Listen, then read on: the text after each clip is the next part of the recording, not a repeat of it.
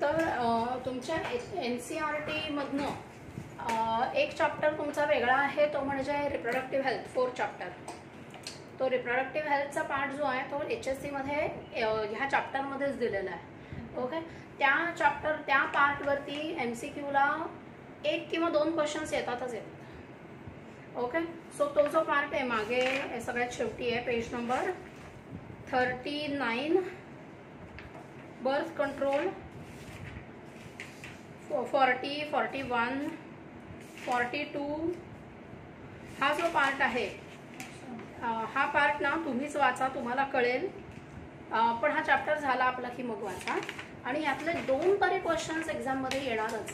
नीटसाठी हां तर त्यांच्यामध्ये एन सी आर टीमध्ये हा चॅप्टर वेगळा आहे. ठीक आहे?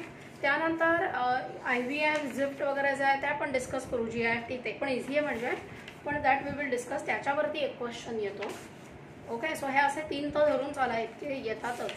आणि ह्युमन रिप्रोडक्शनचा जो हा पहिला सगळा पार्ट आहे त्याच्यावरती क्वेश्चन्स येतात. ओके सो थिअरीसाठी त्या बर्थ कंट्रोलवरती म्हणजे ट्वेल्थच्या फायनल एक्झामसाठी त्या बर्थ कंट्रोलच्या पार्टवरचे फारसे क्वेश्चन्स येतात. ओके हां नीटसाठी मात्र त्याच्यावरनं येतात. बारावीच्या एक्झामसाठी त्याच्यातनं फारसे क्वेश्चन्स येत नाहीत. आलेत तरी तुमच्याकडे ऑप्शन असतो आला तर एखादा एम सी क्यू आला तर ते सुद्धा ये त्यातनं येईलच असं नाही. एवढा सिलेबस त्यांच्याकडे पडलेला आहे. ओके पण पहिला जो पार्ट आहे सिस्टीम्सचा किंवा डेव्हलपमेंटच्या किंवा मेन्स्ट्रुअल सायकलच्या हॉर्मोनल कंट्रोलचा त्या पार्टवरती मात्र थिअरीसाठी फोकस ठेवायचा आहे. थिअरीला त्याच्यामधनं क्वेश्चन्स येण्याचे चान्सेस जास्त आहेत. ओके ठीक आहे. रिप्रोडक्शन आपण प्लांट्समध्ये जेव्हा केलं तेव्हाच आपण बोललो होतो की रिप्रोडक्शन सिस्टीम रिप्रोडक्टिव्ह सिस्टीम जी आहे that system is essential for perpetuation of species if the system is not functional किंवा त्याच्यामध्ये जर काही प्रॉब्लेम असेल तर त्या पर्टिक्युलर इंडिव्हिज्युअलला काही प्रॉब्लेम होत नाही. हां for example circulatory system excretory system nervous system is they are they fail to work किंवा they are not working properly तर त्या इंडिव्हिज्युअलला प्रॉब्लेम होतो. पण रिप्रोडक्टिव्ह सिस्टीम जी आहे त्याचा इम्पॉर्टन्स काय तर for perpetuation of species okay so आपल्याला लोअर ॲनिमल्समधले काही रिप्रोडक्शनचे टाईप्स बघायचे आहेत आणि त्यानंतर ॲक्च्युअल सिस्टीम आणि एम्ब्रिओ डेव्हलपमेंटचा पार्ट याच्यामध्ये स्टडी करायचा आहे. We are going to draw many diagrams in this colourful pens जवळ ठेवा तुमच्याजवळ असतातच. कारण काही एम्ब्रिओनिक डेव्हलपमेंटच्या आणि ओजेनेसिसच्या थिओरिक पार्ट जो दिलेला आहे related diagrams are not given in textbook okay पण रिलेटेड डायग्राम जर आपण ड्रॉ केल्या हां तर डायग्राम बघूनच तुम्हाला ते कळेल. म्हणजे माझी जी मेडिकलला जे स्टुडंट जातात ना ते सुद्धा फर्स्ट सेकंड इयरला त्याच डायग्रामवरनं रेफर करून अ, अभ्यास करतात. कारण तो जो पार्ट आहे ना तो तुमच्या टेक्स्टबुकमध्ये इथे थिअरी दिलेली आहे. पण रिलेटेड डायग्राम्स दिलेल्या नाही आहेत एन सी आर टीमध्ये पण नाही आहेत एच एस सीमध्ये पण नाही आहेत ओके सो छान कलरफुल डायग्राम्स त्या ड्रॉ करायच्या. म्हणजे मी आधी डायग्राम्स ड्रॉ करून तुम्हाला शिकवणार मग तुम्हाला डायग्राम ड्रॉ करायला वेळ देणार. तरच तो पार्ट कळेल. आणि एकदा कळला की it is fix okay so थोडा आपल्याला ह्या चॅप्टरला वेळ लागेल मला वाटतं एक दोन वीक तरी लागतील हा चॅप्टर करायला आपल्याला. ओके सो आपल्याला आत्ता वेळ आहे तुम्हाला कॉलेजेस नाही आहेत तुम्हाला रिव्हिजन करायला वेळ आहे म्हणून हा पार्ट आता मी घेते. Okay Uh, reproduction in lower and higher animals. We know that reproduction is one of the major life process of living organism. It helps in maintaining continuity of species. Reproduction is defined as biological process of formation of new life forms from pre-existing similar life.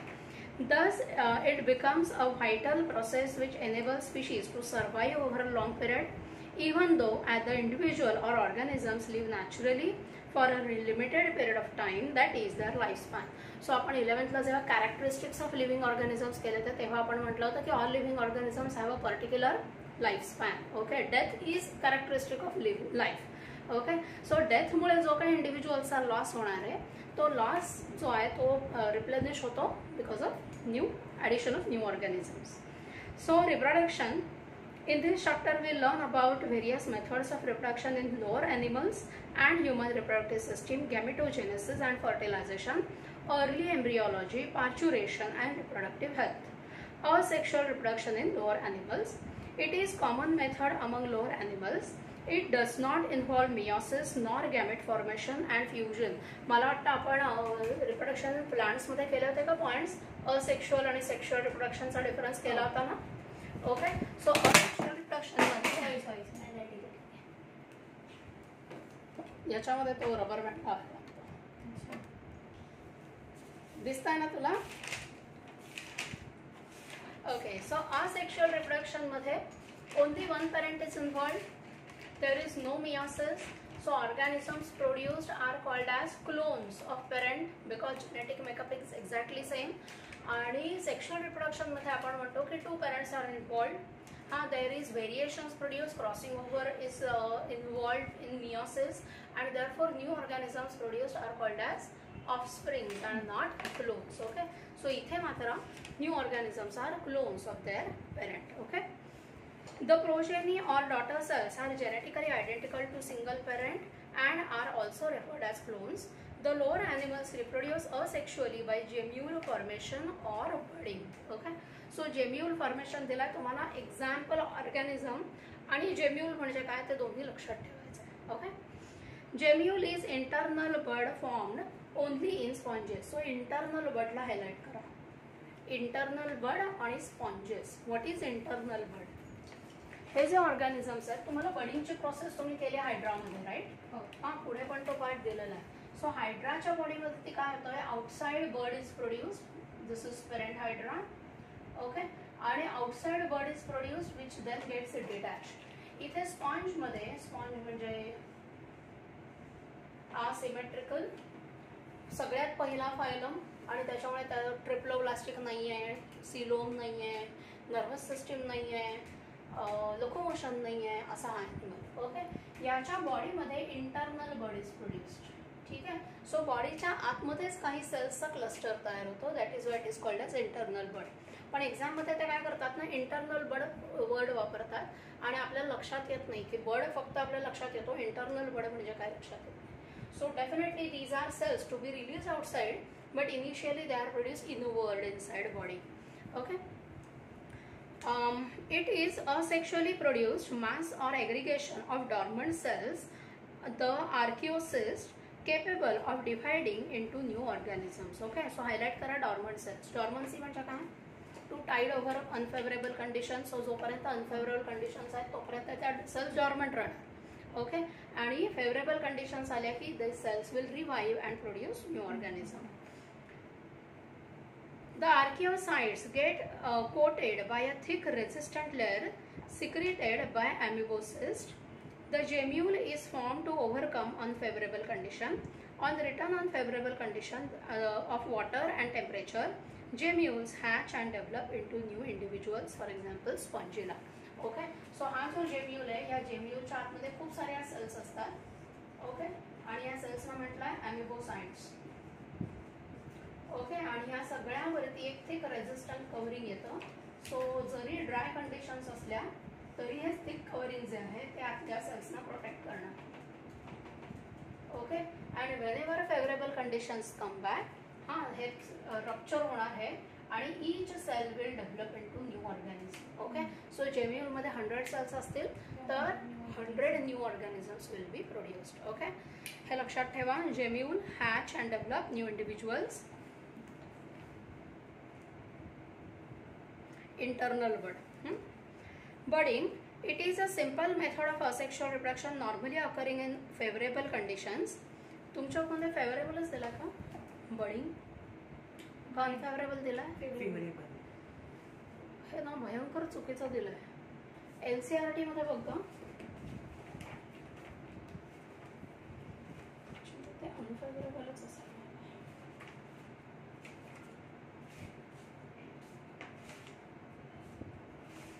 नाही नाही तो first chapter आहे ना त्याच्यामध्ये असेल.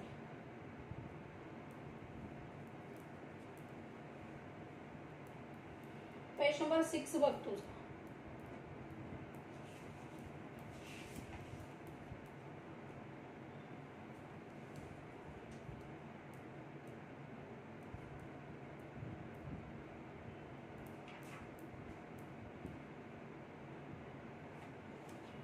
कारण ना आमच्याकडे मी मागे सांगितलं होतं तुम्हाला की मी ज्या लॅबमध्ये काम करायचं ना तिथे आमच्याकडे हायड्राचं कल्चर होतं. हां आणि त्या हायड्राच्या कल्चरला आम्ही पॉन्ड वॉटर आणून घालायचो. So that hydras can utilise amoeba paramecium present in pond water आणि त्यांचं कल्चर ग्रो व्हायचं. म्हणजे खूप सारे हायड्रा आमच्या लॅबमध्ये होते त्या एका छोट्या बाउलमध्ये ओके? आणि त्या ग्लास बाउलला हायड्रा साधारण एक सेंटीमीटर लॉंग असतात किंवा less than that also okay so hydra नेकेडाईजने दिसतात आणि त्यांचं ते समोर सॉल्ट उड्या मारत जाणं वगैरे ते सगळं आम्ही ऑब्झर्व करायचो सो हे जे हायड्रा जे असतात ते वॉलला जनरली अटॅच असतात. ओके आणि ज्या वेळेला दे फाईंड की on one side conditions are not favourable then they can move and go to other place also okay so हे जे हायड्रा होते यांचा नंबर जर आम्हाला जास्त हवा असला तर आम्ही विकेंडला सॅटर्डे संडे आम्हाला सुट्टी असायची. तर फ्रायडेला आम्ही त्यांना थोडं कमी अन्न घालायचो. ओके सो कमी अन्न घातल्यामुळे सॅटर्डेला ते whatever food is available they use to utilise संडेला त्यांना खायला मिळायचं नाही. So those use to become unfavourable conditions for them आणि त्यामुळे मंडेला त्यांच्या बॉडीवर छोटे छोटे बर्ड्स आलेले असायचे. ओके कारण ऑर्गॅनिझम्स आम्ही आमच्या एक्सपेरिमेंटसाठी वापरायचो. सो वापरून ते हायड्रा बरेच कमी व्हायचे. मग कमी झाले की त्यांचा नंबर वाढवायचा कसा? Naturally they can reproduce sexually as well as asexually but sexual reproduction कधी होणार? हां ज्या वेळेला conditions are favourable they will release gametes in water in water gametes may fuse or may not fuse and therefore they will have to produce a large number of gametes then gametes will fuse then they will produce zygotes, zygote will develop into new organism so जेव्हा favorable conditions असतात त्यावेळेला they have sufficient time and energy to invest in sexual reproduction. Okay but when they find that conditions are not favourable हा त्यावेळेला मात्र त्यांना आता सगळी species गायब होते की काय अशी भीती वाटते So in that case, they prefer asexual reproduction by which new birds can be produced in small time and within a week their entire colony can be doubled. Okay कारण प्रत्येक हायड्राला एक एक दोन दोन बड आले हां हे दोन दोन बड पण येतात ॲट अ टाइम ओके आणि ते मस्त असे फांद्या फुटलेले हायड्रा छान दिसायचे. हां सो ते असे हायड्राचा नंबर आम्ही वाढवायचो. तर आय डोंट नो या बुकमध्ये काय दिलं आहे ते की फेवरेबल कंडिशन तो एक पार्ट मला मला असं वाटलं की नवीन एडिशनमध्ये तरी ती करेक्शन होऊन आलेली असेल. Okay so in unfavorable condition they uh, they use simple method of asexual reproduction it is seen in variety of animals like coelentrates hydra and corals and in some colonial ascidians in hydra a small outgrowth is produced towards a basal end of body it develops as a bud which grows and forms tentacles and develops a new individual. This process is called as budding. A young hydra gets detached from the parent and becomes an independent organism. Okay त्यानंतर इथे एक प्लॅनेरियाचं example दिलं आहे की प्लॅनेरियाचे जर cuts झाले हां जवळ बॉडीचे पीसेस झाले तर each piece will develop into new organism okay so that is called as regeneration Sexual reproduction in animals. It is a process which involves production of offsprings by formation and fusion of gametes which is called as amphimixis. Amphi means both, mixes is fusion. Both the gametes fuse, therefore amphimixis. In animals, gamete formation primarily involves meiosis. Okay, so meiosis म्हणजे exactly काय crossing over how crossing over produces new organisms ते आपण sale डिव्हिजनमध्ये पण केलं आहे आणि आता आपण इव्होल्युशनमध्ये पण तो पार्ट थोडा रिवाईज केला होता right The sexually reproducing animals show two main phases of their life. The earlier or juvenile phase mainly represents the physical growth growth phase starting from the birth. Plants मध्ये आपण याला म्हटलं होतं vegetative period okay ॲनिमल्समध्ये त्याला म्हणणार आपण juvenile period yes in this phase, later reproductive maturity phase is attained usually after physical growth is almost over. It involves growth and activity of sex organs. The animal can reproduce sexually in this phase. Both these periods, that is uh, juvenile and reproductive, are variable in different animals. After attaining sexual maturity, the animal exhibits various events, namely pre-fertilization, that is gametogenesis, fertilization, that is fusion of gametes, post-fertilization, that is formation of zygote, embryogenesis, and formation of new individual. The sexually reproducing animals show various breeding patterns. Some like goat, sheep and donkey have seasonal breeders while humans and apes are continuous breeders. Okay. So seasonal breeders म्हणजे काय आणि continuous breeder म्हणजे काय? You must have heard about estrus cycle and menstrual cycle. Okay. So जे seasonal breeders असतात त्यांच्यामध्ये त्यांच्या फिमेल्समध्ये असतं इस्ट्रस सायकल सो इस्ट्रस सायकलमध्ये gametes are produced but if they do not fertilise Then they are absorbed in the body okay ते म्हणजे waste सारखं ते जनरेट होऊन बॉडीच्या बाहेर रिलीज केलं जात नाही. वेर ॲज इन मेन्स्ट्रुअल सायकल काही मॅमल्समध्ये इस्ट्रस सायकल आहे. ओके काही मॅमल्समध्ये इस्ट्रस सायकल आहे आणि काही मॅमल्समध्ये मेन्स्ट्रुअल सायकल आहे. सो इस्ट्रस सायकल जे आहे त्यांच्यामध्ये सीझनल ब्रिडर्स असतात ते. सो त्यांच्या ब्रिडिंग सीझनमध्ये फक्त gametes are release throughout year they do not produce gametes whereas in menstrual cycle throughout year organism can reproduce okay so obviously throughout year if they reproduce then ऑफस्प्रिंगचं production किंवा आपण म्हटलं होतं prodigality of reproduction is more in case of menstrual cycle oestrous सायकलमध्ये only in limited limited period of year reproduction can happen okay human reproduction Humans are sexually reproducing animals. The process of reproduction involves various sequential steps such as gametogenesis, insemination, internal fertilization, zygote formation, embryogenesis, gestation, and parturition. The gametes, sperms and eggs are produced by primary sex organs that is testes and ovary. Okay प्लांट्समध्ये आपण म्हटलं होतं essential whorls आणि accessory whorls essential whorls are androecium and gynoecium because they produce gametes. Similarly, in male and female reproductive system, there are many organs, but organs which are involved in gamete formation, that is testes and ovaries, are called as काय म्हणूयात आपण? Organs of gamete formation किंवा essential organs okay organs other than testes and ovary are called as secondary sex organs of male and female okay so primary sex organs testes and ovary आणि बाकीचे आहेत ते accessory sex organs as male and females can externally be differentiated by certain specific features they that is called as secondary sexual characters they are called as sexually dimorphic characters di means two morph means form so two forms are different therefore it is called dimorphic in males, presence of beard, mustache, hair on chest, muscular body, enlarged larynx are secondary sexual characters, whereas in females, development of breast, broader pelvis, and high pitched voice are the secondary sexual characters. Okay. Male reproductive सिस्टीममध्ये एक्झामला diagram कोणती येऊ शकेल two point four T S of testes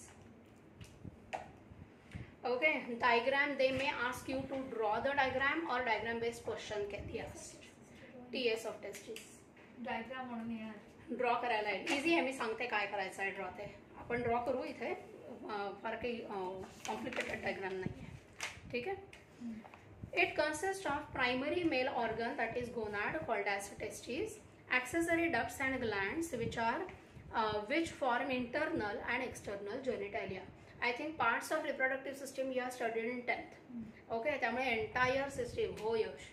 Okay so entire system they have not given in this chapter त्यांनी entire reproductive सिस्टीमचे diagram द्यायच्याऐवजी त्यांनी फक्त काही ऑर्गन्सचं लेबलिंग करायला दिलं आहे आणि आपण फक्त फिजिओलॉजी आणि हिस्टॉलॉजी त्या ऑर्गन्सची स्टडी करणार आहोत. Okay a pair of testes mesodermal in origin highlight this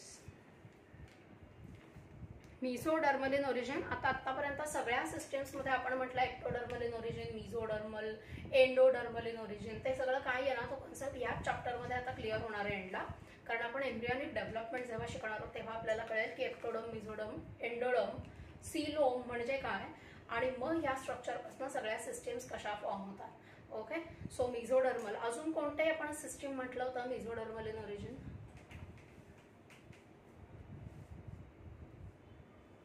किती सिस्टम्स केल्यात तुम्ही आता डायजेस्टिव्ह केली आहे सर्क्युलेटरी केली आहे एक्सक्रेटरी केली आहे रेस्पायरेटरी केली आहे. रेस्पिरेटरी सिस्टम नाही केली? केली आहे. हा ते रेस्पिरेटरी मिझोडर्मल नाही आहे. फाईन मग कोणती आहे मिझोडर्मल हा मयुरी? एक्सक्रीटरी एंडोक्राईन सिस्टीम आपण शिकलो नाही आहोत अजून. आपल्याला करायचे. मग तुझी इलेव्हन्थला झाली आहे यांना ट्वेल्थला आहे त्यामुळे ते अजून शिकवलेलं नाही mesodermal in origin circulatory system blood all organs of circulatory system are mesodermal in origin entire connective tissue is mesodermal in origin okay so ते कळेल तुम्हाला आहे या चॅप्टरमध्येच पुढे आहे okay they are located in a pouch called as scrotum during early fetal life testes are developed in abdominal cavity and later they descend in scrotal sac through a passage called as inguinal canal म्हणजे काय ज्या वेळेला when male fetus is developing in the womb and when male fetus is developing in womb okay in seventh or eighth month of his development testes are produced in abdominal cavity lower abdominal cavity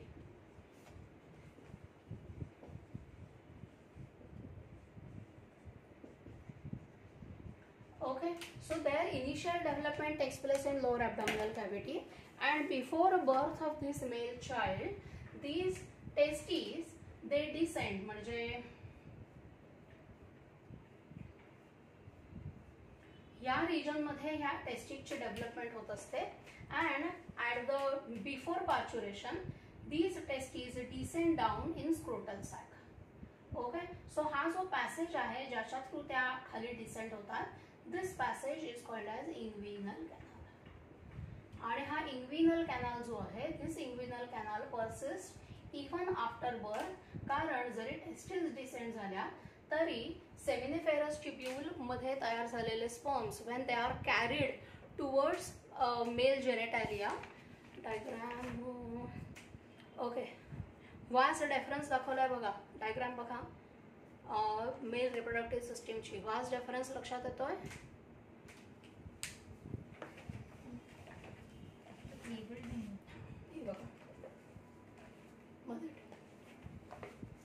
okay so टेस्टिसच्या इथनं gametes आहे आहेत this gametes are carried through vas deferens हा vas deferens passes through inguinal canal and then it connects with the urethra कळलं? So हा जो passage दाखवलेला आहे हा इन्विनल कॅनल मधनं श्वास रेफरन्स पास होतो. Okay so this is inguinal canal. कळलं? So through inguinal canal they descend down through inguinal canal testes descend down in scrotal sac but vas deferens also passes through inguinal canal and then it joins the urethra okay so हे highlight करून ठेवा inguinal canal.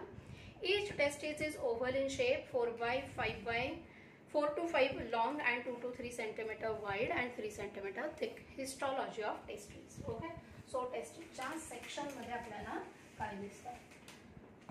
Section of testes मागे मी तुम्हाला सांगितलं होतं की section of thyroid gland आणि section of pancreas तिन्ही सेक्शन्स खूप सिमिलर दिसतात.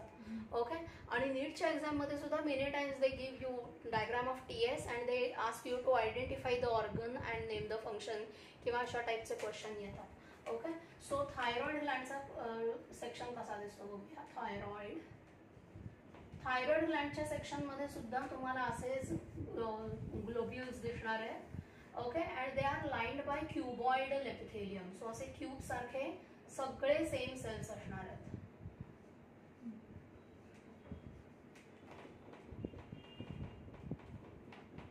ओके आणि त्याच्यामध्ये कोलॉइडल सिक्रिशन असतं that is thyroxine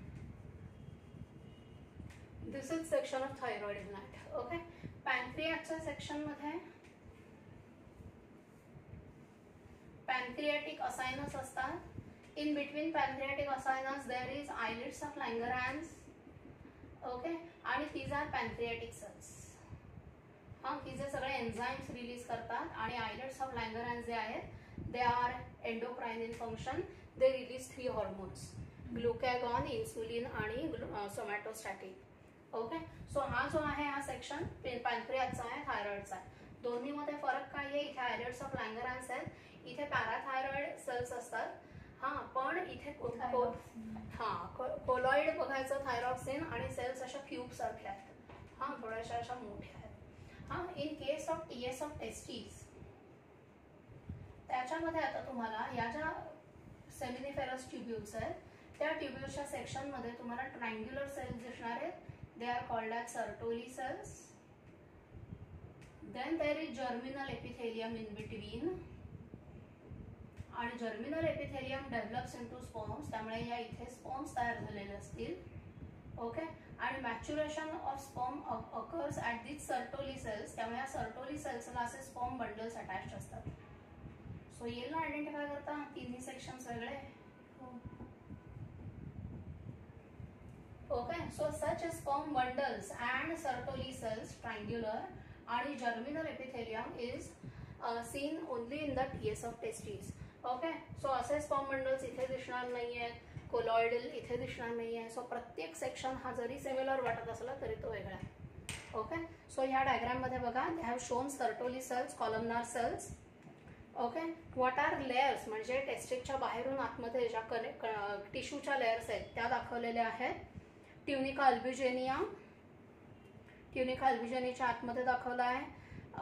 interstitial cells आणि तिथे लिडिक सेल्स पण दाखवले आहेत. हां व्हॉट इज जर्मिनल एपिथेलियम आणि basement membrane germinal epithelium is a modified epithelium हां आपण इलेव्हन्थला केलेल्या टाईप्स ऑफ टिश्यूजमध्ये एपिथेलियल टिश्यू आणि त्याचे मॉडिफिकेशन्स केले होते. मॉडिफिकेशनमध्ये आपण म्हटलं तर germinal epithelium pigment epithelium sensory epithelium okay आणि glandular epithelium these are modifications of epithelial tissue okay so हा जर्मिनल एपिथेलियम हा एपिथेलियल टिश्यूचा मॉडिफिकेशन आहे. त्याच्या मध्ये मध्ये या ज्या सेल्स आहेत या सेल्सना म्हणायचं आहे interstitial cells or Leydig cells okay inter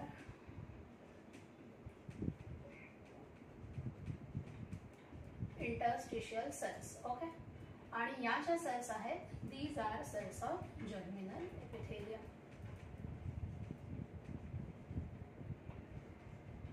Cells of germinal epithelium will undergo meiosis to produce sperms that is male gametes आणि interstitial cells will produce hormone that is testosterone. Testosterone and many other steroid hormones. Okay? So या interstitial cells आहेत त्यांना Leydig cells असं पण म्हटलंय these are Sertoli cells Sertoli सेल्सचं function काय they help in maturation of gametes okay seminiferous tubules म्हणजे exactly काय नावावरनंच कळतं की ट्युब्युल्स म्हणजे काहीतरी मायन्यूट असणार आहे राईट सो ही जी टेस्टीज आहे each testis contains many tubes. Highly highly folded tubes. Okay and these tubes are very minute very fine म्हणून त्यांना म्हणतात ट्युब्युल्स ओके सो हा ज्या ट्युब्युल्स आहेत आपण जेव्हा सेक्शन बघतो त्यावेळेला ह्या ट्यूबचा आपल्याला ट्रान्सवर्स सेक्शन दिसतो कट सेक्शन दिसतो. सो ही ट्यूब असा इमॅजिन करा की अशी लांब ट्यूब आहे नारो ट्यूब आहे. And this tube is lined by germinal epithelium cells of germinal epithelium have ability to undergo meiosis no other cells of body can divide by meiosis okay so मेलमध्ये germinal epithelium which is lined by line inside seminiferous tubule आणि फिमेल्समध्ये ओव्हरीमध्ये जे germinal एपिथेलियमचे cells आहेत only those cells have ability to undergo meiosis. बाकी या male reproductive सिस्टीमच्या कोणत्याही सेल्समध्ये मियासिस होणार नाही. ओके बाकी सगळ्या सेल्समध्ये गरज पडली तर मायटॉसिस होईल. जर सेल्स कमी झाल्या काही सेल्सचा वेअर अँड झाला तर मायटॉसिस होत राहील. Only the cells of germinal epithelium will produce new gametes by meiosis okay so याच्या सेक्शनमध्ये आपल्याला हे असे ट्युब्युल्सच्या मध्ये मध्ये इंडस्ट्रिशियल सेल्स दिसणार आहेत. आणि सर्टोली सेल्स आहेत आणि जर्मिनल एपिथेलियम आहे जर्मिनल एपिथेलियम सेल्स सेल्स आहेत diploid two N but they produce haploid cells by meiosis okay the testis is externally covered by collagenous connective tissue layer called as tunica albugenia. Outer to it is incomplete parietal peritoneal covering called as tunica vaginalis and inner is tunica vasculosa. Okay so आता हे उलट सुलट दिलंय.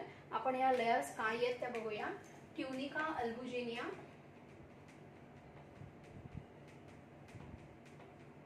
Spelling बरोबर आहे ना? G I G I N E N tunica अल्बुजेनियाच्या बाहेर आहे. ट्युनिका व्हजायनाटिस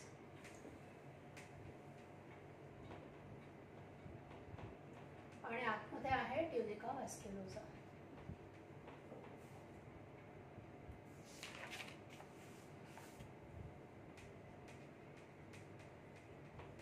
सो हे ना टेक्स्टबुक मध्येच लिहून घ्या. दिस इज आउटर मोस्ट किंवा आउटर म्हणा मिडल अँड इनर त्यांनी uh, सेंटेन्स कसा बनवला आहे? Tunica albuginea outside of which is tunica vaginalis and inside is tunica vascularis त्यामुळे ते सिक्वेन्स नक्की काय कळत नाही. Tunica vaginalis is peritoneal covering what is peritoneum see all internal म्हणजे व्हिसेरा मधले जे ऑर्गन्स असतात थोरॅक्स ॲबडॉमेन या सगळ्याला जे कव्हरिंग असतं ते पेरिटोनियमचं असतं.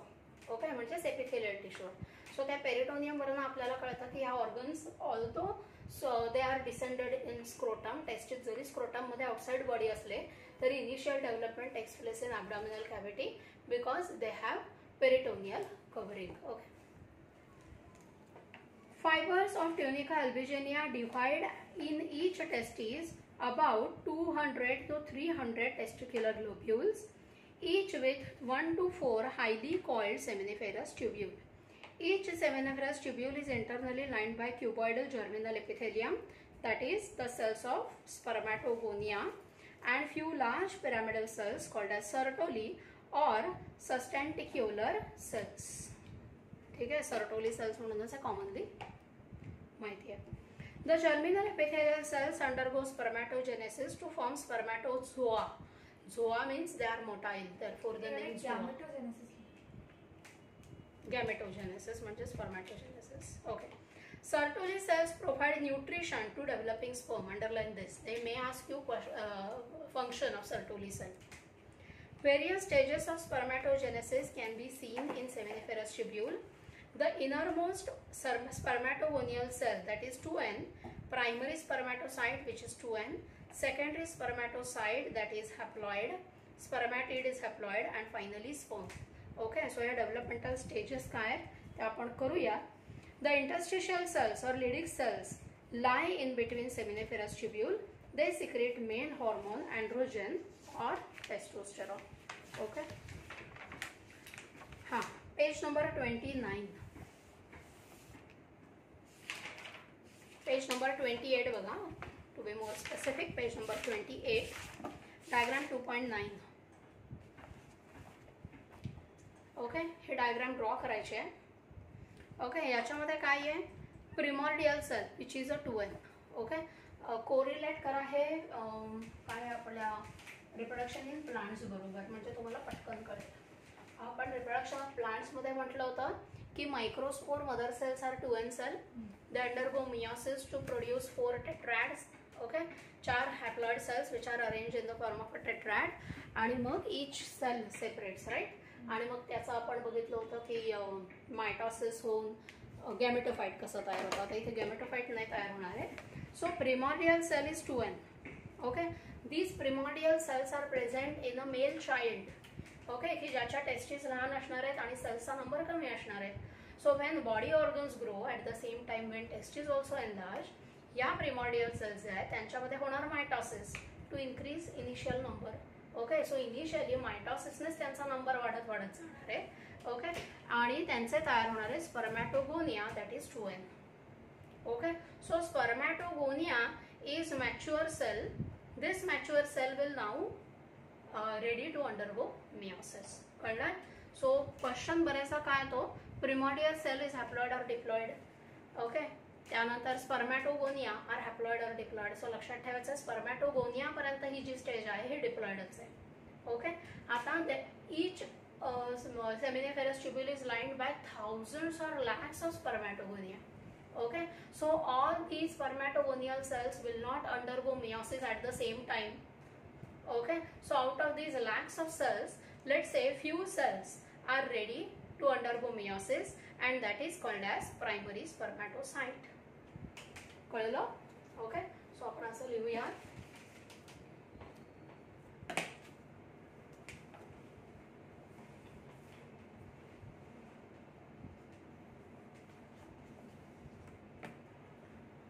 primary cells they are also called as primordial cells these primordial cells are 2n they divide by mitosis produce spermatogonia which is also 2n कारण mitosis division झालाय these spermatogonia will mature and will become primary spermatocyte so maturation इथे काही division वगैरे नाही आहे so now it is ready to undergo meiosis so आपण म्हटलं की whenever cell has to undergo either mitosis or meiosis some cytoplasmic content त्याच्यामध्ये develop व्हायला पाहिजे. न्यूक्लियाय जे आहेत genetic material has to be doubled okay so ते maturation होणार या स्पर्मॅटोगोनियामध्ये and one of the spermatogonial cell will act as primary spermatocyte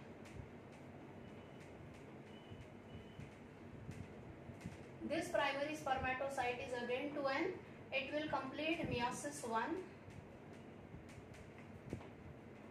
to produce secondary spermatocyte.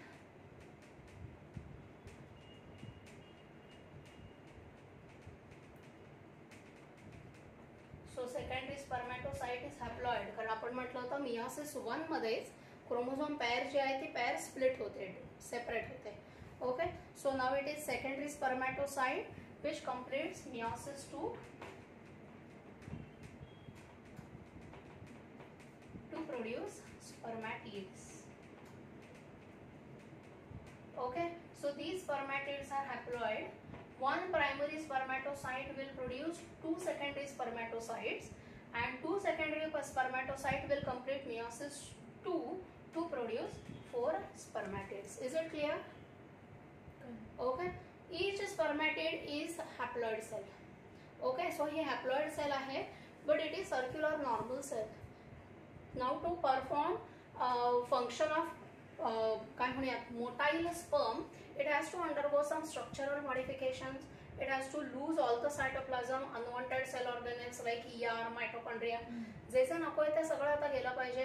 Extra cytoplasmic content has to be lost so that it will be functional spermatic स्पर्मॅ आपण म्हणूया स्पर्मॅटोझोआ किंवा functional sperm आणि ती जी process आहे त्याला म्हणतात spermiogenesis so these four spermatids are produce here या इथे तयार होणारे spermatids so all these development stages will take place here so now we have circular haploid cells and these cells have to mature as a sperm आणि ही जी process आहे that is called as spermiogenesis की जिथे या ज्या circular haploid cells आहेत the circular haploid cells will become very small nucleus थोडासा सायटोप्लाझम वरती ॲक्रोसोम असं स्ट्रक्चर असलेली ही एक प्रायमरी सेल तयार होईल आणि मग त्याचा तयार होणारा मॅच्युअर स्पॉम सो ही जी डेव्हलपमेंट आहे from circular or animal cell to sperm त्याला म्हणायचं आहे spermiogenesis